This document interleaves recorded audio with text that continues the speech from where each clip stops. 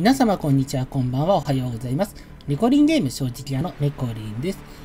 本日はこちらのゲーム、エコーズ・オブ・パンドラの今ガチャでピックアップに来ているキャラクターたちの強さ、そして魅力を最初に説明させていただきたいと思います。その後、その説明したキャラクターが実際どんな感じで、まあ史実ですね。史実でどんな感じで運用されていたとか、どんな感じでまあ、特徴があるかというのをほんの少しだけお話しさせていただきたいと思います。ちょっと詳しく説明しちゃうとね、動画がものすごく長くなってしまうので、触りだけ説明させていただきたいと思います。キャラについては自分なりに説明させていただきたいと思いますので、よろしくお願いいたします。ということで、現在オーダーに来ているのがこちらになります。まあ、重戦車 KV4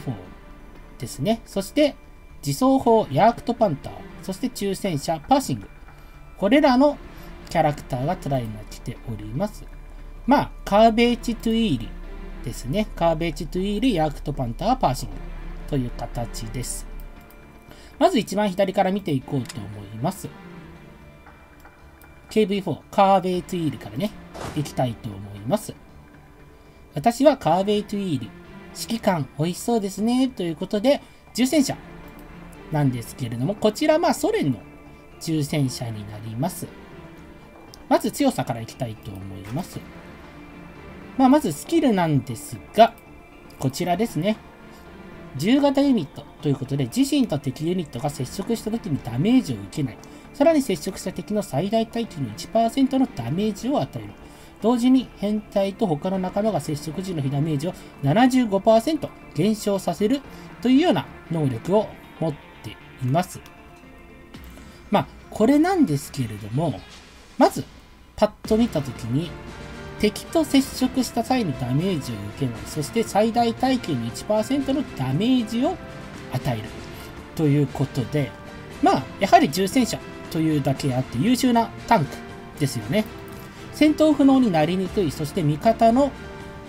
ユニット、まあ、キャラクターたちの耐久値がまあ、増えると言ったらおかしいですけども、ダメージカット、接触時のダメージカットが入るので、かなり比較的戦いやすいということになります。個人的なおすすめは、このゲーム、自分で操作する方法以外にも、オートの操作もあるんですよ。オートの際、敵と接触することがかなり増えるんですが、何のそのという形でオートでもバンバンバンバン進んでいけるというところが個人的にお勧めしたいかなと思っております。そしてこちらですね。白リン弾かな。燃焼効果のある白リン弾一発を発射。範囲ダメージを与え命中したターゲットへの合計火力226.6%プラス354ダメージ。そして毎秒合計火力1.6%ダメージの持続10秒。ということで持続攻撃が入るスキルとなっています。まあ、やはり持続ダメージは強いですよね。まあ、範囲ダメージというのがやはり優秀です。まあ、範囲スキルがあるので、どちらかというと、ボス戦よりも、雑魚的、まあ、モブというか雑魚的相手にやるのがいいかなと思います。そして一発で落とせない場合でも持続ダメージが入るので、他のキャラクターたちの支援効果もあるというところで使いやすいです。そして貫通マスタリングですね。15秒ごとに自分自身対戦車値上昇140。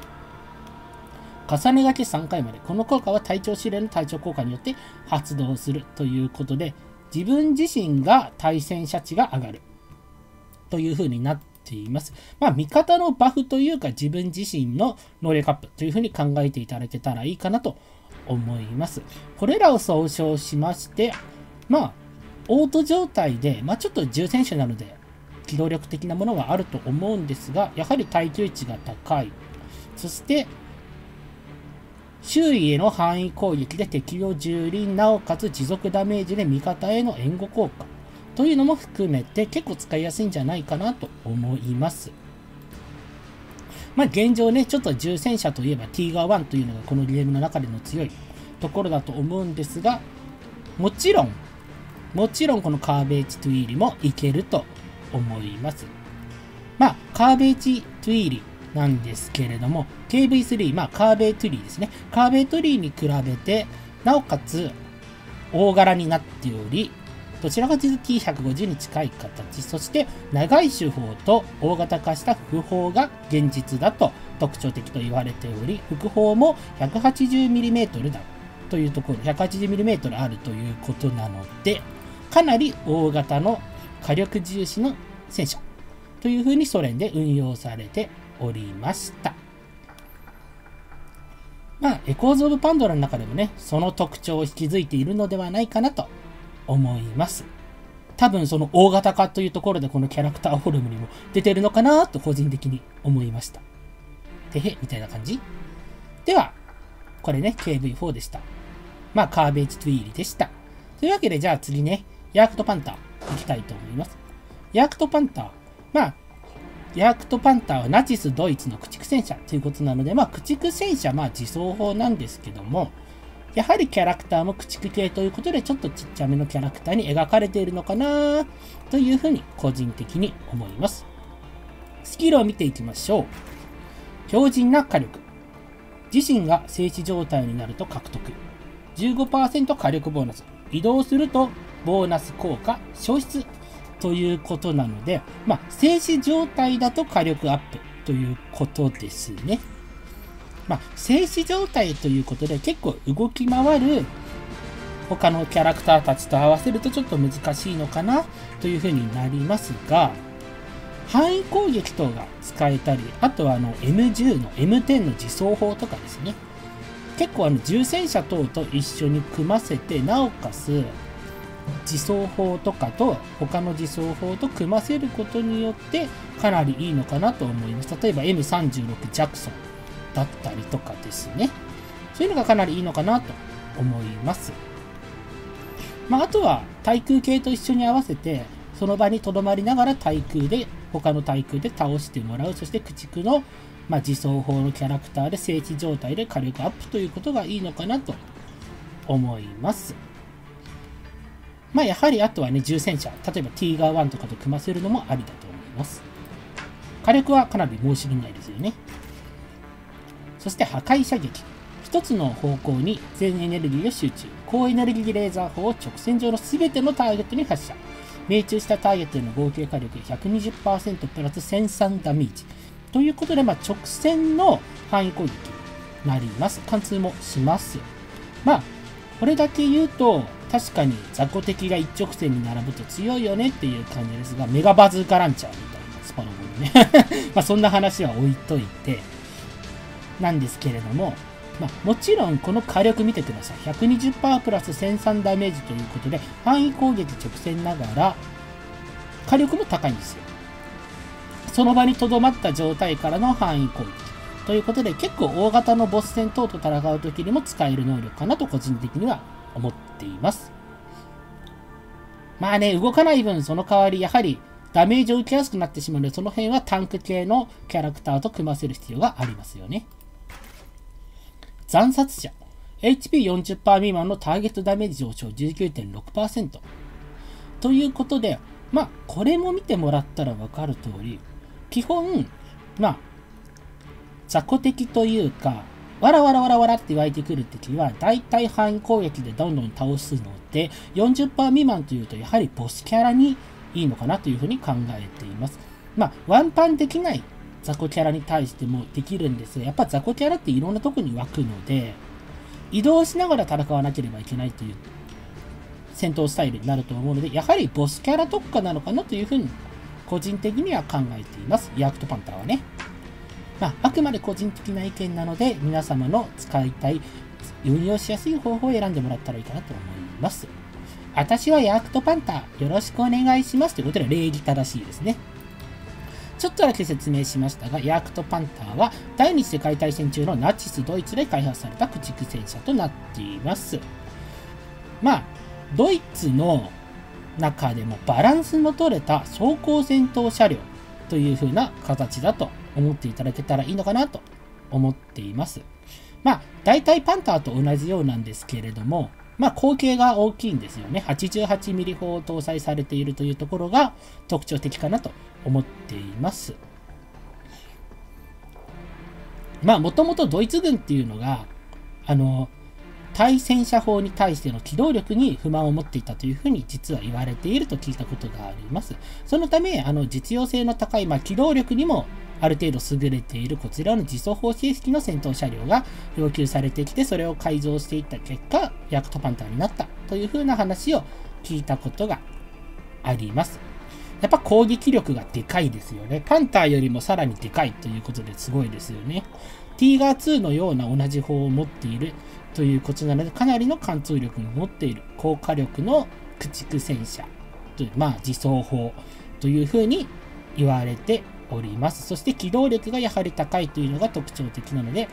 ドイツ軍のね、今までの、なんというのかなまあ、不安定を解消された形といった方がいいのでしょうか。そういうふうなものになっています。じゃあ最後ですね。こちら、パーシング、抽選車について説明させていただきます。まずスキルですね。対空弾幕ということで、戦場の要求に基づいて改造された昇降系対空設備で飛行ユニットに対して効果的に損害を与えられるというふうな説明になっています。ちょっとこれだけ見ると、うーん、どんな感じなのかなっていう説明はちょっと分かりづらい感じですよね。まあ、抽選者ですので、このゲームの特徴として、抽選者じゃないと対空攻撃がなかなかできないというふうになっているんですよね。まあ、弾幕スキルを持っているということなので、まあ、抽選者、場所によってはかなり必要なのかなというふうになっています。抽選者といえば、かなり今強いと言われているのがセンチュリオンですよね。まあ、センチュリオンのスキルに比べたらちょっと分かりづらいので、ちょっと使ってみないと分からないのかなというふうな印象を持ちます。ごめんなさい、ちょっと曖昧でも。なぜなら私はパーシングを持っていないから。ごめんなさい。でも効果的な損害を与えられるというのがかなり肝なのかなと思います。ちょっと使ってみないと分からないですね。トラクションフィールド。マイクロ重力発生器を使用してエリア内の全てのターゲットを中心に向かって引き寄せ、ターゲットが引き寄せられている間に、毎秒合計火力7.1ポイント、耐久持続5秒という風になっています。まあ、こちら全てのターゲットを中心に向かって引き寄せるということで、どのぐらい引き寄せるのかわからないんですが、これ、例えば、私のちょっと使ってない構想なんですけども、パーシングである程度中央に引き寄せて固まったところに範囲攻撃で一気に叩く。または、そこからヤークトパンターの一直線攻撃ですよね。貫通攻撃でぶち抜く。などなどがちょっと使えるのかなというふうにちょっと個人的には思っています。ちょっと運用してみないとわからないんですが、何しろ引けてないので、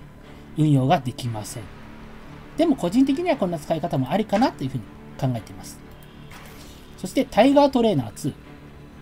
ティーガー1、ティーガー2、1型6号戦車、シュトルムティーガーが戦闘開始時に編成内にいる場合、レイジゲージ増加23ポイント、同時火力上手112.0%ということで、他のティーガー系統ですね、だとかと組ませるとバフがかかるという風な能力になっています。なので先ほどのヤークトパンターとかみたいな形での運用もいいと思いますし、まあもちろんこのタイガートレーナー2という正式上、能力上ですね、ティーガー1、ティーガー2とかと組ませるのはかなりいいのかなと思います。特にティーガー2なんかは、あの、ログインボーナスでティーガー2がもらえるというね、素晴らしいものが起こっていますので、もちろんパーシーにゲットしたとは一緒に組ませることによって、かなりの火力アップが望めるのかなと思います。ただまあ火力アップ望めるんですけども、ティーガー系統はやはり重戦車ということで、どちらかというと火力もあるんですが、どっちかというとタンク系のステータスになって戦闘不能に陥りにくいというのが特徴になっていますので、やはりそれと合わせて火力キャラと組ませるのがかなりいいのかなというふうに個人的には思っています。パーシングですね。そんなパーシングなんですけども、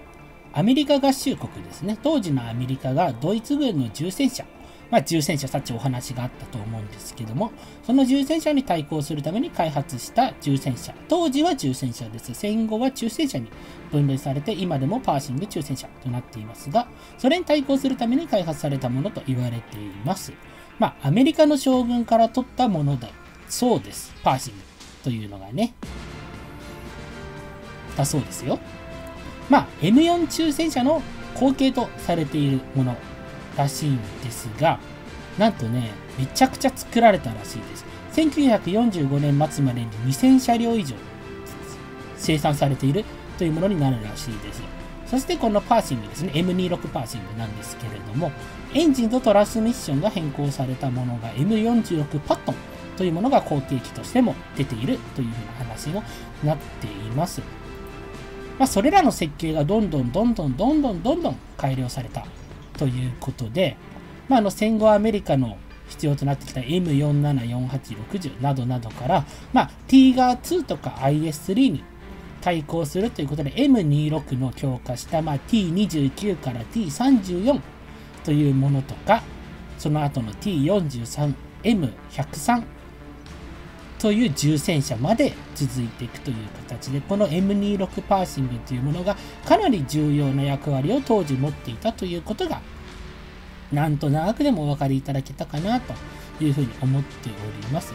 めちゃくちゃ太平洋戦争とか朝鮮戦争とかね、様々なところで活躍したとも言われております。そんなパーシングでした。じゃんじゃじゃーんパーシング華麗に登場どう？素敵だったでしょ？という形で、めちゃくちゃブロンド美女っていう感じですよね。まあ、アメリカ合衆国。まあ、これちょっとね、アメリカのブロンドの綺麗な女性をイメージしたという形の絵になっているといった感じでしょうか。その他にもね、まあ、いろいろ軽戦車、M5A1 とかだったりとか、ビッグショットだったり、ティーガー1もちろんね、ブラックパンサー、さっき言ったセンチュリオンなどなどが SSR で手に入るものとなっています。まあ、ちょっとね、10連オーダー引いちゃった後なので、これ以上10連オーダー引けないんですが、今回、お話をさせていただきました。ちなみに私は T ガ1が持っています。いつもお嬢様と呼ばれ、期待を寄せられているようですけど、実を言うと、そのようなことは望んでいませんの。お嬢様というのは望んでない T ガ1ちゃんでした。ということで、いかがでしたでしょうか？今回ちょっとピックアップ、プレミアオーダーというかね、そちらでオーダーになっていました、カーベージトゥイーリとヤークトパンター、そしてパーシングについて説明させていただきました。まあこれね、ちょっとエコーゾームパンドラの中での強さもちょっと説明させていただきましたが、あくまでちょっと個人的な観点での説明ということになりますので、実際の強さは皆さんの目で確かめてみてください。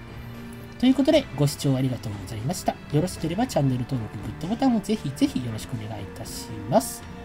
また別の動画配信でお会いしましょう。それでは皆さんさようなら。またね